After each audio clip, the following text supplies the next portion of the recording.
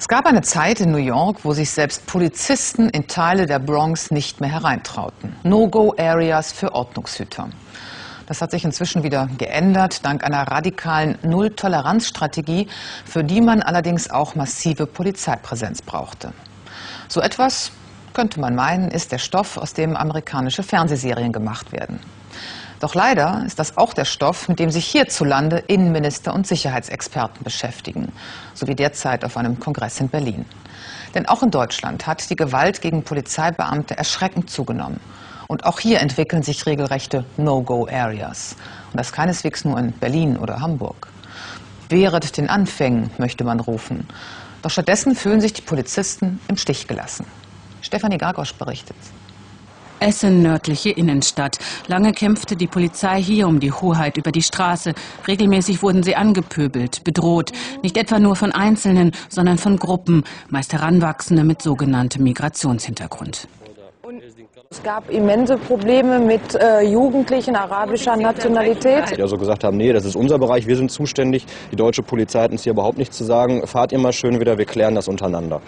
Bilder von solchen Zusammenstößen gibt es nur selten, wie etwa hier während einer Festnahme in Niedersachsen.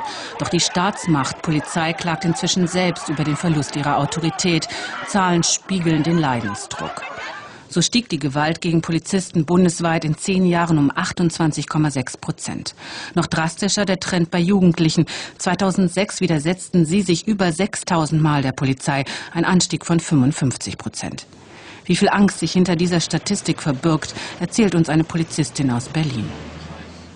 Wir hatten einen stinknormalen Einsatz, aber der schaukelte sich hoch. Aus zehn wurden 20, 30, 50 Männer, die uns beschimpften, bespuckten. Es war grauenvoll. Es kam zu Körperverletzungen, zu Tritten gegen Beamte.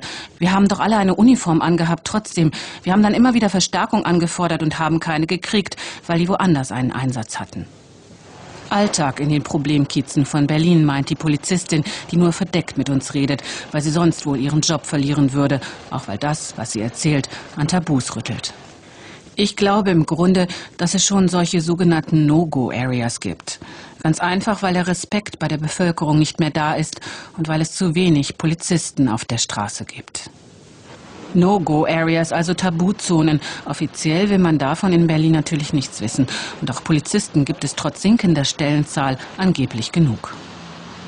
Solche No-Go-Areas darf es nicht geben und die gibt es auch nicht. Wir sind in der Stadt präsent und zwar in jedem Winkel dieser Stadt. Wichtig ist, dass wir im Gespräch bleiben, auch mit den Kollegen, auch untereinander, dass wir die Informationen kriegen, die nötig sind, um die Einsätze entsprechend zu bewältigen. Miteinander sprechen. Vielen Polizisten in Berlin wäre Handeln lieber. Sie fühlten sich im Stich gelassen, erklärt uns ein Einsatzleiter, zögen ihre Konsequenzen. Es gibt Beamte, die Angst haben, dass sie angegriffen und danach angezeigt werden. Das führt dazu, dass sie nicht mehr richtig arbeiten, weil die sagen, wenn ich rausgehe und von irgendjemandem angezeigt werde, kann ich nicht mehr befördert werden. Das hat zur Folge, dass sie bei einem Einsatz lieber nochmal um die Ecke fahren. Verprügelt und obendrein angezeigt. Das kennen Sie auch in Essen. Doch anders als in Berlin verstärkten Sie hier die Einsätze, patrouillieren täglich in den Problembezirken mit Erfolg. Ich denke, das ist schon sehr wichtig, damit eben gar nicht erst dieser Eindruck entsteht, äh, man könnte tun und lassen, was man wollte und, und der Staat oder die Polizei in dem Falle würde wegsehen.